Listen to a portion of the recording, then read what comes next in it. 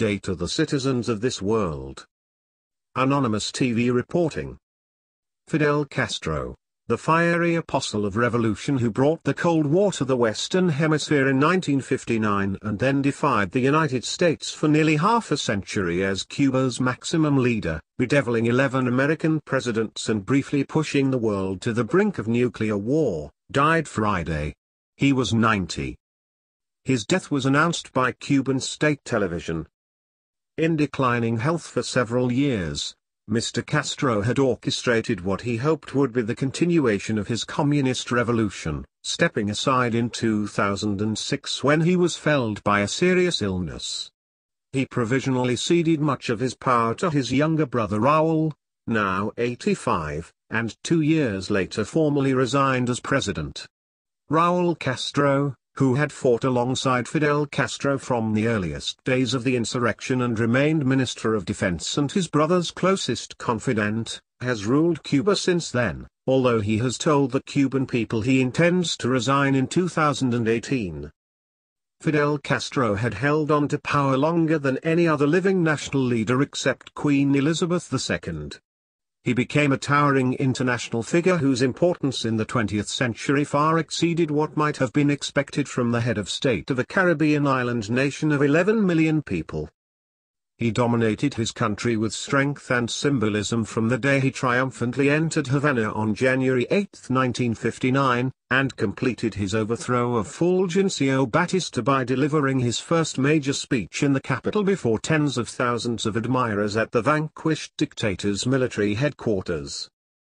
A spotlight shone on him as he swaggered and spoke with passion until dawn. Finally, white doves were released to signal Cuba's new peace. When one landed on Mr. Castro, perching on a shoulder, the crowd erupted, chanting Fidel. Fidel. To the war-weary Cubans gathered there and those watching on television, it was an electrifying sign that their young, bearded guerrilla leader was destined to be their savior. Most people in the crowd had no idea what Mr. Castro planned for Cuba. A master of image and myth, Mr. Castro believed himself to be the messiah of his fatherland, an indispensable force with authority from on high to control Cuba and its people. He wielded power like a tyrant, controlling every aspect of the island's existence. He was Cuba's Maximo leader. From atop a Cuban army tank, he directed his country's defense at the Bay of Pigs. Countless details fell to him, from selecting the color of uniforms that Cuban soldiers wore in Angola to overseeing a program to produce a superb breed of milk cows. He personally set the goals for sugar harvests. He personally sent countless men to prison. But it was more than repression and fear that kept him and his totalitarian government in power for so long. He had both admirers and detractors in Cuba and around the world. Some saw him as a ruthless despot who trampled rights and freedoms, many others hailed him as the crowds did that first night, as a revolutionary hero for the ages. Even when he fell ill and was hospitalized with diverticulitis in the summer of 2006, giving up most of his powers for the first time, Mr. Castro tried to dictate the details of his own medical care and orchestrate the continuation of his communist revolution, engaging a plan as old as the revolution itself. By handing power to his brother, Mr. Castro once more raised the ire of his enemies in Washington. United States officials condemned the transition, saying it prolonged a dictatorship and again denied the long-suffering Cuban people a chance to control their own lives. But in December 2014, President Obama used his executive powers to dial down the decades of antagonism between Washington and Havana by moving to exchange prisoners and normalize diplomatic relations between the two countries, a deal worked out with the help of Pope Francis and after 18 months of secret talks between representatives of both governments.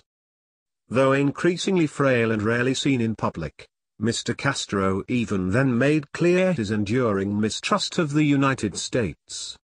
A few days after President Obama's highly publicized visit to Cuba in 2016, the first by a sitting American president in 88 years, Mr. Castro penned a cranky response denigrating Mr. Obama's overtures of peace and insisting that Cuba did not need anything the United States was offering.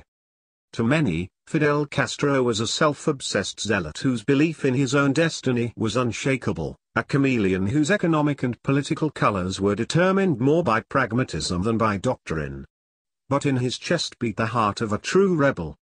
Fidel Castro, said Dr. Henry M. Wriston, president of the Council on Foreign Relations in the 1950s and early 60s, was everything a revolutionary should be.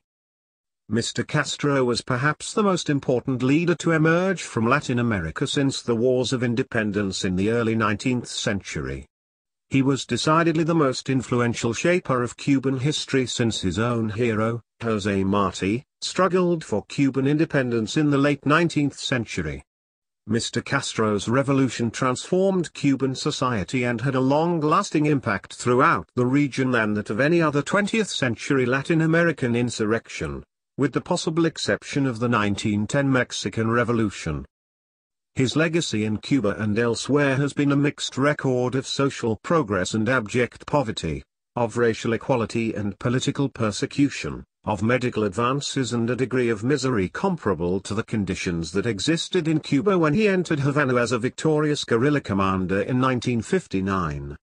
That image made him a symbol of revolution throughout the world and an inspiration to many imitators.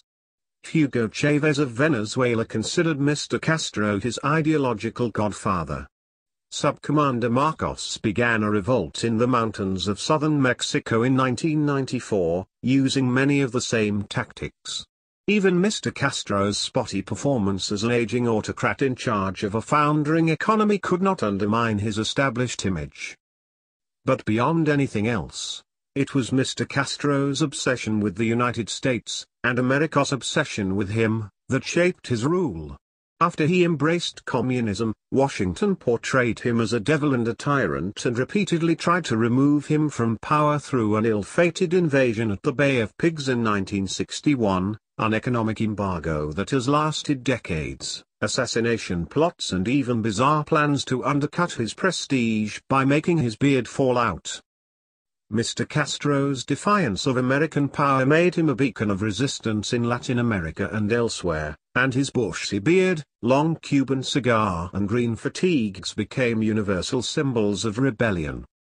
Mr. Castro's understanding of the power of images, especially on television, helped him retain the loyalty of many Cubans even during the harshest periods of deprivation and isolation when he routinely blamed many of Cuba's ills on America and its embargo.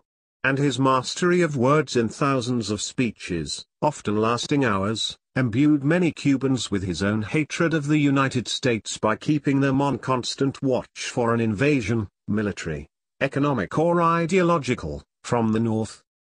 Interactive feature, Castro's Revolution, illustrated thousands of posters were commissioned by the government to promote his vision of a socialist society.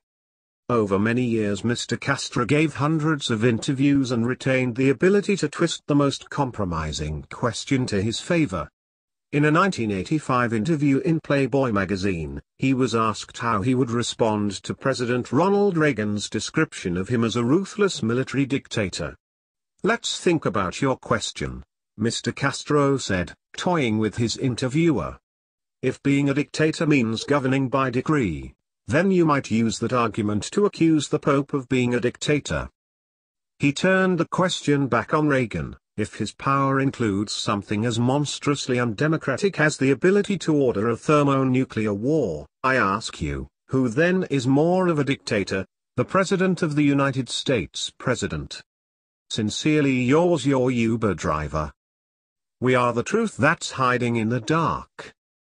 We are the last stand for humanity. We are your neighbors. We are humanity. We are a legion. And we are now. We do not forgive. Expect us. We do not forget. Expect, Expect us. Sincerely yours.